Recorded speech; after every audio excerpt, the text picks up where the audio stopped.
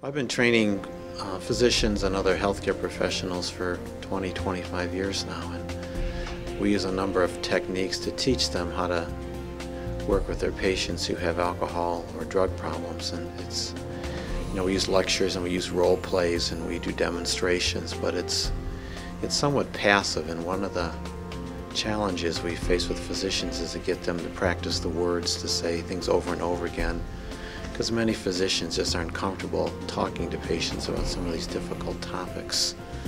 So this technology really goes beyond anything we've ever been able to do before. It's much more adult learning style.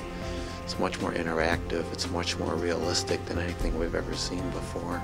We have a fairly big research group at the University of Wisconsin and we work with lots of different kinds of people around the country and it's really been a pleasure to work with SIMmersion that they have a very professional staff, uh, very competent, they're timely. You know, it's very easy to communicate back and forth. And uh, you know, when we set a timeline up, they follow through and, and, get things done. You know, this technology really can allow physicians to practice some of these techniques that we need to, you know, we know do work and can can make a difference. There's a list of, of topics like alcohol, like drugs, like depression, domestic violence, you know, sexual questions, HIV risk that are very difficult to train uh, providers how to be comfortable with those kind of topics. And you know, many physicians just don't do a very good job with those things, both because they didn't have the training, they're not very comfortable with it, they're not sure what to do, they're not sure what words to say, you know, they're not sure how to have conversations about kind of those tough subjects. And you know, this technology really could dramatically